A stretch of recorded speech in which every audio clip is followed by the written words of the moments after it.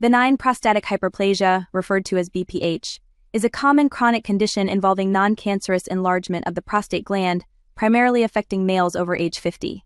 An enlarged prostate compresses the urethra, causing narrowing and difficulty emptying the bladder. As a result, patients experience a frequent urge to urinate, difficulty starting urination, a weak urine stream, and the feeling of incomplete bladder emptying. If urinary retention is not adequately addressed, Complications can include urinary tract infections, bladder damage, and kidney damage. Risk factors include aging, family history, and hormonal changes. Diagnostic tests for BPH may include a prostate specific antigen PSA blood test, urodynamic tests, voiding cystourethrogram, and cystoscopy. Management of BPH symptoms includes lifestyle modifications, medications, and surgical procedures. Helpful lifestyle changes to manage the symptoms of this chronic condition include reducing fluid intake before bedtime, avoiding caffeine and alcohol, and using double voiding to help empty the bladder. Medications like tamsulosin may be prescribed to help relax muscles of the prostate and bladder neck, increasing urine flow.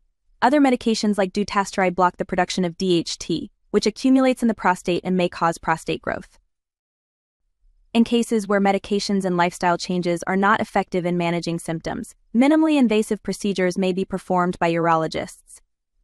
These procedures use the transurethral method, which involves inserting a catheter or cystoscope through the urethra to destroy enlarged prostate tissue or widen the urethra.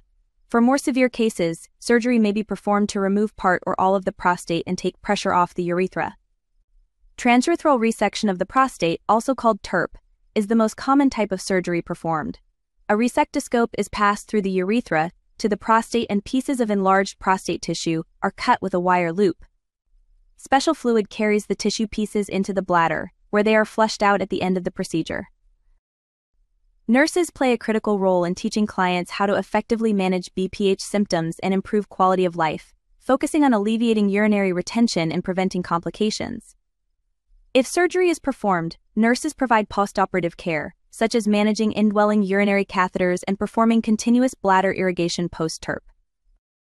When evaluating the effectiveness of interventions, nurses review expected outcomes of reduced urinary retention and symptom management.